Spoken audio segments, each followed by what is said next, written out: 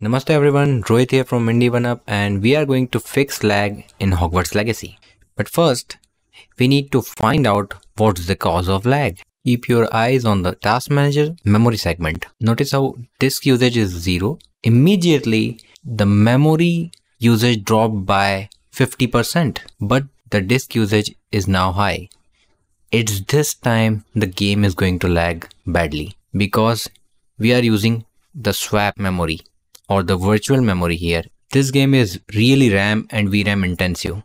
So it does this often. And whenever it does this, it needs to swap out some information from RAM and it then transfers that to your selected storage space. Now, since this is unavoidable from our side, as most of us would be running 16 gigabytes of RAM and this game actually needs much more than that. So what we can do is we can make sure that the virtual memory is located on our SSD or NVMe drive, not on the hard disk, right? To do that, just go to the search bar and type advanced system settings. Click on that and it will open system properties. You need to select the advanced tab and then in this performance section, go to settings. Once again, you need to click on advanced tab. Then here in the virtual memory segment, go to change. You just need to make sure that whatever your fastest drive is, only that is allocated for virtual memory and it is system managed, nothing else. Rest of the volume should be none.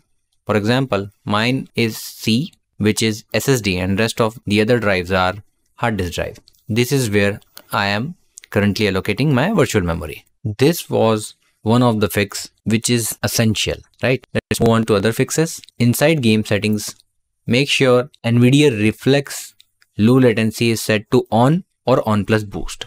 If you are using a Radeon card, then in your control panel, go to settings and enable anti-lag for Hogwarts Legacy.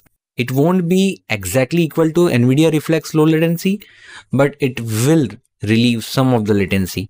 Then one of the settings that I found which was causing stutter for me is surprisingly Red optimization. You should keep it off and the other setting, go to display, graphic settings and here hardware accelerated GPU scheduling to off. At least for me, turning off those two settings work like a charm. At last, you can download a software called Intelligent Standby List Cleaner, ISLC. And here you can set it to automatically clear RAM every now and then when it reaches a certain size. This is basically RAM cleaner and you can copy these settings. It will help you get better performance. That's it for this video guys. I hope you liked it. Let me know in the comment section if you have some issues and do like and subscribe. It will help the channel tremendously. Thank you.